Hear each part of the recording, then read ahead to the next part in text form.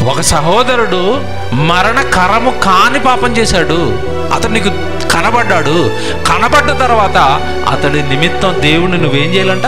వేడుకో వేడుకో. సహోదరుడు పడిపోయాడు. సహోదరుడు పడిపోయాడు అంటే కుటుంబం పడిపోద్ది. కుటుంబం పడిపోయిందంటే ఒక కుటుంబం సంఘానికి దూరం అయిపోద్ది. కొన్ని ఆత్మలు అతని వల్ల సంఘానికి దూరం అవుతాయి నిత్య జీవానికి దూరం అవుతాయి దేవుడికి దూరం అవుతాయి దేవుడు పనికి దూరం అవుతాయి వాళ్ళ ఆప్యాయతకు దూరం అయిపోతాం వాళ్ళ అనురాగాలకు దూరం అయిపోతాం. ఒక సహోదరుడు నాలో నుండి వెళ్ళిపోతున్నాడు. బాధండి ఇదంతా పడిపోతే అతని గురించి సంఘం అంతా నీకు పర్సనల్గా తెలిసిందా? నువ్వు పర్సనల్గా వేడుకో. సంఘానికి తెలిసిందా? సంఘం అంతా అతని గురించి ఏం చేయాలి? వేడుకోవాలి వేడుకోవాలి వేడుకోవాలి. సహోదరుడు నిలబడాలి సహోదరుడు నిలబడాలి. తన సహోదరుడు మరణకరము కాని పాపము చేయగా ఎవడైనను చూచిన ఎడల అతడు వేడుకొనను. అతనిని బట్టి అతనిని బట్టి దేవుడు మరణకరము కాని పాపము చేసిన వారికి బా. నేను మరొక వ్యక్తి గురించి ప్రార్థన చేస్తేనంట నా ప్రార్థన విని నా కోసం అతనికి జీవాన్ని ఇస్తాడంట.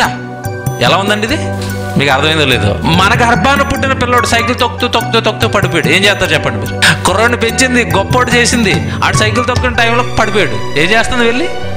లేపుతుంది కట్టు కడుతుంది ఏమండి డ్రామా ఇదంతా? ఏమండి లోక సంబంధమైన డ్రామా సమయం ఇది? దేవుడిది డ్రామా కదండి స్వచ్ఛం. లేపిన తర్వాత సైకిల్ ఒక చేత్తో పట్టుకుంది ఆ కొడుకుని తీసుకువెళ్ళిపోతుంది. పడిపోతే లేపింది తల్లి. ఇక్కడ పడిపోతే లేపాల్సింది ఎవరు చెప్పండి ఇక్కడ? ఇక్కడ పడిపోతే లేపే బాధ్యత ఎవరికి ఇచ్చాడు చెప్పాలి? పడిపోయాను అనుకోండి నన్ను ఎవరు లేపాలి? నా పక్కనున్న సహోదరు మీరే లేపాలి.